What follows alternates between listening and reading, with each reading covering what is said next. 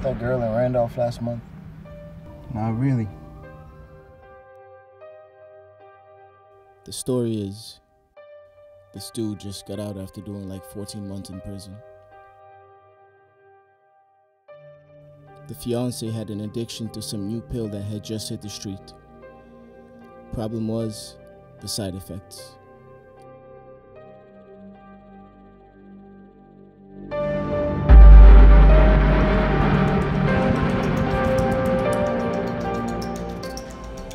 Hey yo, any resources I have that could be useful to you is all yours, Danny.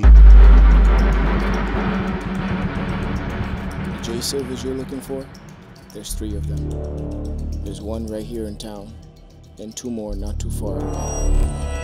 What's your name? Jason. What's your last name, Jason? Silver. Now I'm gonna ask you a few questions. You sell this? Yeah, I do.